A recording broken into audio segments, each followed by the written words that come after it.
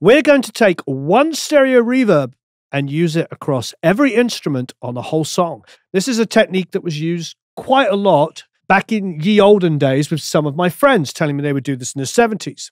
Just for schnitz and schniggles, what I've done here is I've actually opened up the Sunset Sound Studio Reverb, and we're going to send from different instruments and different amounts using only one reverb. But each time we do it, we're going to add different amounts of pre delay, meaning it will feel like it's in a different place in the room. Nice. I'm going to take that whole kit and send it to the reverb, and I'm going to stick a delay on it.